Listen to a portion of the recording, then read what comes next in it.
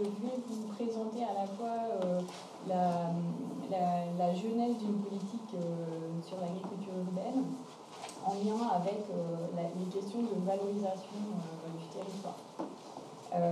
en quelques mots, Bordeaux Métropole, c'est 800 000 habitants. 28 communes, 58 000 hectares en superficie totale, euh, et dont la moitié d'espaces naturels et agricoles au PLU. Euh, et euh, l'agriculture représente 10% des surfaces également donc, au PLU, mais le potentiel d'espace agricole est évalué à 7000 hectares en comptant les espaces naturels qui peuvent être également valorisés par l'agriculture.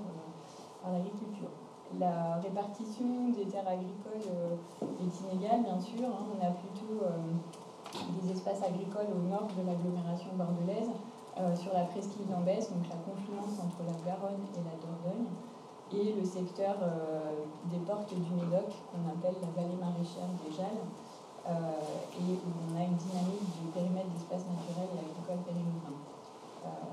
les exploitations agricoles sont au nombre de 180 sur, sur le territoire et on a à peu près une représentation très diversifiée des types de cultures avec des céréales, du maraîchage, de la viticulture, mais qui est, loin d'être majoritaire sur notre territoire, euh, de l'arboriculture et de l'élevage sur les prairies inondables. depuis, depuis quelques années, donc depuis l'année depuis 2010, lors de laquelle Bordeaux Métropole a fait appel à un expert du ministère de l'Agriculture pour lui proposer une feuille de route pour mettre euh, en place une dynamique agricole sur son territoire. Euh, cette question euh, prend de l'ampleur au sein de, notre collectivité. Et en 2011, la direction de la nature a été créée, dont une des tâches est la mise en œuvre de ce plan d'action proposé par M. Cavronon. et donc à partir de, de ces années-là, en fait, la métropole a mis en place un certain nombre de partenariats avec des acteurs bah, qui ont euh, effectivement une légitimité sur la question agricole, ce qui n'est pas forcément le cas d'une collectivité urbaine, euh, donc notamment avec la Chambre d'agriculture, la SAFER, et avec des associations qui ont des champs d'action plus spécifiques, euh, la FRCIVAM, dont on a parlé ALCO, Arbio, Terre de Liens et la Fédération nationale de l'agriculture biologique, également l'UFN, dont on parlera tout à l'heure pour la gouvernance alimentaire. Euh, et depuis 2014, la, métropole co-anime avec la Chambre d'agriculture un groupe de coordination agricole pour mettre en relation les acteurs euh, de l'agriculture et les porteurs de projets et euh, pour favoriser l'installation agricole. Actuellement, en 2017, la volonté politique est de délibérer pour une réelle politique de l'agriculture sur notre territoire, doté d'un règlement d'intervention en faveur de l'agriculture et d'une stratégie foncière dédiée. Euh, elle est en cours d'écriture. Je ne suis pas sûre qu'elle sorte en 2017, mais on va essayer de tenir à peu près cet objectif. Euh, et donc, en gros, euh, elle s'articule autour des axes suivants la préservation des terres et des exploitations agricoles, l'amélioration de la connaissance à la fois sur les productions et sur les exploitants agricoles, euh, le maintien et le développement euh, d'une agriculture dynamique, diversifiée et durable, donc respectueuse de l'environnement, euh, favoriser l'installation agricole, le soutien et développement des circuits courts, la valorisation de l'agriculture auprès des élus et du grand public, la conciliation de l'agriculture et de la biodiversité, euh, ce qui est un, des axes majeurs de la direction de la nature, hein, qui travaille également sur les sites euh, naturels préservés. Euh, le développement et la structuration des filières et une thématique assez cruciale sur notre territoire, c'est la réduction de la vulnérabilité de l'agriculture en zone inondable, puisqu'un tiers de notre superficie est en zone inondable et quasiment 90% des, des zones agricoles. Depuis 2014, euh, Bordeaux Métropole anime le PENP des JAL. Euh, donc le PENP, c'est euh, donc un, périmètre d'espace naturel et agricole périurbain. Donc ça, c'est des, périmètres qui sont institués par les départements, mais dont l'animation peut être déléguée à un tiers.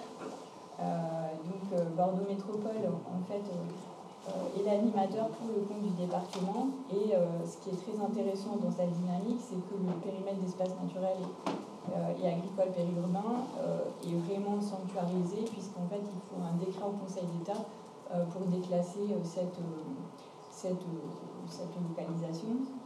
Donc c'est un territoire de 900 hectares euh, le long euh, d'une rivière euh, qui comprend donc à l'ouest un site des sources, donc un site protégé autour de captage d'eau potable et toute une zone maraîchère à, à l'est.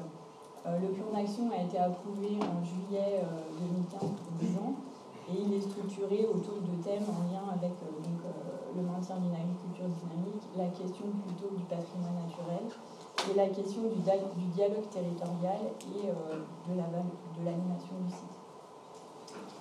Euh, le plan d'action s'articule autour de neuf, euh, axes, principalement autour des questions hydrauliques, puisqu'il y a tout un système de jal et de cours d'eau qui est quand même assez sensible et, qui crée en fait tout un certain nombre de conflits d'usage entre euh, bah, ceux qui veulent pomper et ceux qui veulent, qui veulent utiliser l'eau autrement. Euh, la question de l'installation euh, de maraîchers sur le secteur, notamment par la veille foncière et la préemption.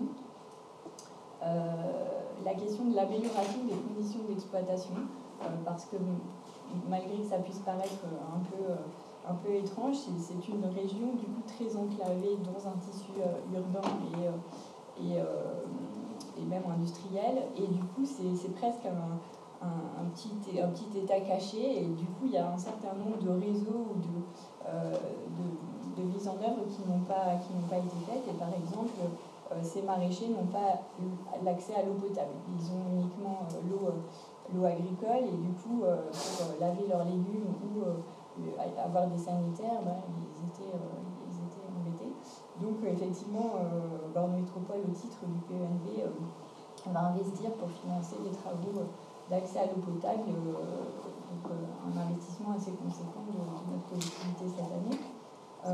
les autres axes sont un petit peu plus classiques, comme la, lutte contre les espèces nuisibles, lapins et autres raccoons, les projets de circuit court, la préservation d'habitats sensibles en lien avec avec le maraîchage et puis euh, l'animation et euh, l'animation du site. Euh, ce qu'il faut savoir, c'est qu'effectivement, tous les maraîchers se sont battus pour garder cet espace agricole et ils une mauvaise image des collectivités et des services de l'État qui mettent des contraintes sur leur activité. Et du coup, ce, travail en fait, permet de restaurer un lien justement de confiance entre agriculteurs et collectivités, voire organismes d'État. Un autre axe, c'est donc la remise en culture des, terres, euh, des fonciers agricoles. Donc le, PAU de Bordeaux Métropole vient d'être approuvé en février 2017 et donc il consacre 10% du territoire à, l'agriculture. Malheureusement, euh, bah, ces 10% ne sont pas forcément mobilisés par l'agriculture et donc euh, il y a une problématique assez importante de rétention foncière puisque les propriétaires de fonciers agricoles, bien sûr, rêvent de vendre leur terrain au prix du constructible. Euh, donc on, fait on mène un travail, euh, un, travail euh, expérimental sur deux communes avec la SAFER pour aller rencontrer les propriétaires agricoles et les inciter à remettre en culture ces fonciers par des baux ou d'autres formes, d'autres formes de mise à disposition aux porteurs de projets agricoles.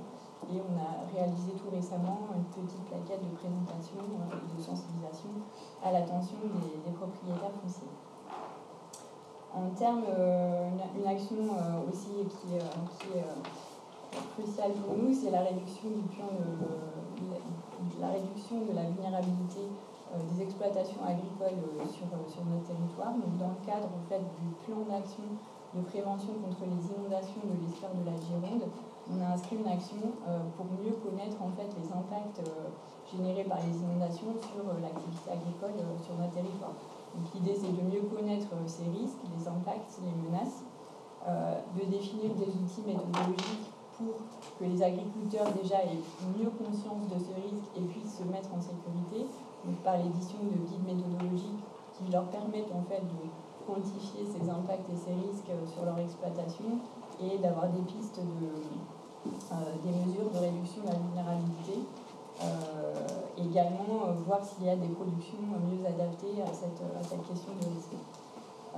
et enfin, comme nous sommes bientôt en fait en, révision du plan de prévention du risque inondation, euh, l'idée euh, est de voir comment mieux intégrer euh, les, problématiques agricoles dans cette révision du PDR. mon collègue Yves présentera un poster dédié à ce sujet vendredi matin, donc n'hésitez pas à aller le voir. En termes de gouvernance alimentaire, c'est une thématique un peu plus récente sur laquelle Bordeaux Métropole a travaillé sur, différents axes en 2016, elle a apporté un soutien financier à la création d'un carreau bio et local sur le mine euh, de, Bordeaux. Euh, donc l'idée que les agriculteurs puissent vendre en direct leur production sur les mines. Euh, en 2015, la métropole a édité une carte manger locale dont j'ai quelques exemplaires et que je pourrais vous présenter. Et à partir de 2015, donc, la ville de Bordeaux et Bordeaux Métropole se sont associés pour travailler à la constitution d'un projet alimentaire territorial et euh, structurer une politique de gouvernance alimentaire. Donc, grâce euh, à l'UFL, donc Anna Fauché est présente aujourd'hui pour en témoigner, euh, ça a permis de mettre en place un plan d'action en termes de gouvernance alimentaire, structuré autour d'axes en, lien avec la politique de la métropole, mais aussi en lien avec la gouvernance et la mise en réseau des acteurs. En 2016, Bordeaux Métropole a, ratifié le, pacte alimentaire, euh, le pacte de politique alimentaire de Lyon. Et euh, tout récemment, en avril 2017, euh, la métropole s'est orientée donc, pour la création d'un conseil de gouvernance alimentaire qui vise un peu à répondre aux questions que vous posiez tout à l'heure. Comment mettre en lien les différents acteurs de l'agriculture à l'alimentation, au, circuit, au circuit de commercialisation. Alors maintenant, il faut mettre en œuvre ce, conseil consultatif de gouvernance alimentaire, euh, ce qui n'est pas encore le cas tout à fait, mais euh, on y travaille. Et parallèlement à ça, donc en 2017, la ville de Bordeaux a également été lauréate pour son euh, projet alimentaire territorial. Et enfin, juste deux mots sur la question de la sensibilisation. On travaille à la sensibilisation des élus, notamment par l'organisation de manifestations euh, qu'on appelle les élus à la ferme, qui ont été proposés par la Chambre d'agriculture, qui visent à accueillir euh, sur l'exploitation euh, des élus et de les faire échanger autour de thématiques sous forme de table ronde. Et on travaille aussi cette année, et sans doute pour plusieurs années, à la sensibilisation également du grand public sous la forme d'expositions de, photos, de portraits d'agriculteurs et la réalisation d'un film sur leur relation au territoire et au paysage euh, parce que cette année, il y a sur Bordeaux euh, une biennale d'architecture, d'urbanisme et de design qui s'appelle Agora.